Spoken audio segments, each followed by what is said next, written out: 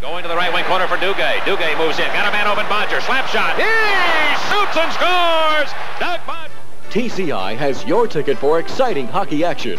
Follow the Pens all season long on the Penguins Cable Network. Brought to you in part by Roy Rogers and Pappan's Family Restaurants, Mellon Bank, Pittsburgh Brewing, and Bell of Pennsylvania Yellow Pages.